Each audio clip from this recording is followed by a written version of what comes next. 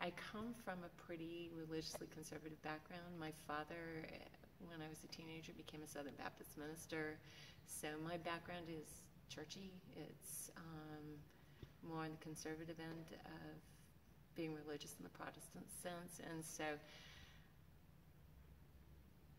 I was having a hard time finding a place where my political views, my, my values were supported as well as caring about talking about God and talking about um, being a body in Christ. And so I think the UPA offered the openness for that. At the time that I was attending, there were a lot of Jewish families that came, some Buddhists, a lot of, everybody was on a different kind of a journey, but they were together, and I think that that, that drew me in.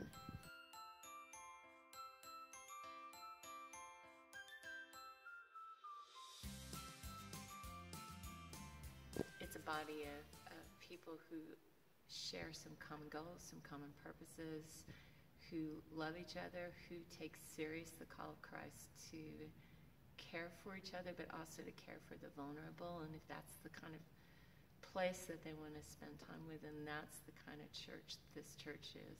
They they care about um, all the kinds of causes that I care about, but that it's not a cause. It's it's human need. It's it's vulnerabilities. It's a place to be safe, no matter what kind of religious orientation you share, sexual orientation, or whatever.